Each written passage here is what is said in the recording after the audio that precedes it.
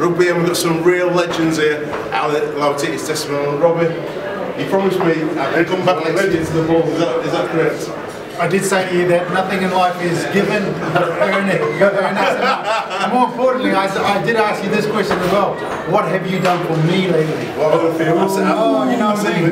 This is what we're going to do. We're going to, we're to do a live show at the Bulls. I'm coming this weekend. put my hand up and say I can't be bored. I'm coming this weekend to Doncaster to watch the game. It's to be fantastic in the box with Richard Turner. So we're, we're going to do a Pop- live show. Paula's for you popped guys.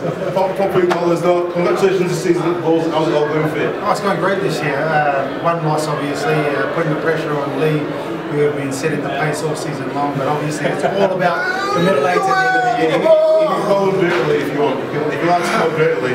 Mate, people. I mean, we're not playing tiddlywinks. It's a physical game. Everyone just gets mocked in, don't they? Now it's a great night tonight for our Titi. Uh, what's he given to the English game? Oh, he's been brilliant. He was the. Um, he sort of came over to England. He was the original uh, Michael Jordan of rugby league. He was a guy that could take the ball to the line, promote the ball like no one else could. He's got big giant buckets for hands, and the way he can hold the ball is absolutely incredible. And as we know, anywhere near the try line, one on one, two on one, you can't stop him. Hold your head with it, with the ball. I don't know whether I'll ask questions or ask for an autograph initially. history. Absolute legends here. Obviously, within the uh, brotherhood, we've got loads of brothers out there. We've always got one that's really loud and one that's a little bit more quiet. Is that, is that how it works? Jamie, I'm just surprised Robbie hasn't gone on the car. I watch him on the BBC. So normally someone's doing a stretcher, by dynamic stretcher body's down there, right in the middle of their face, asking a really stupid question.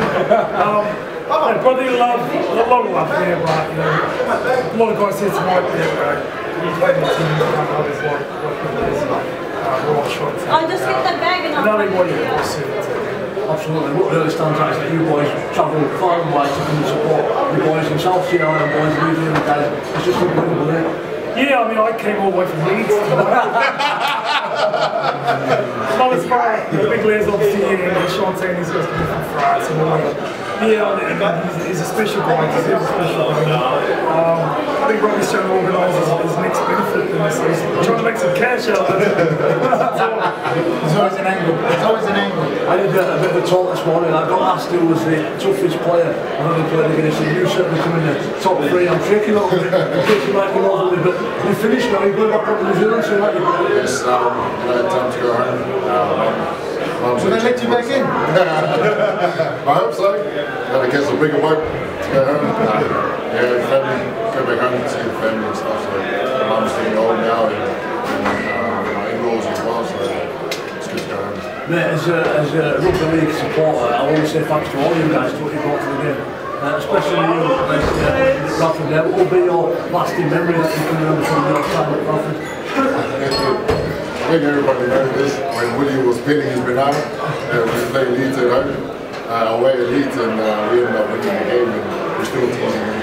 that game, and we're still pinning the banana as well. So, uh, it's been good memories, you know. Um, you know, brothers can tell you about it, but I think it's uh, very uh, environment that will uh, really gonna stand out for me.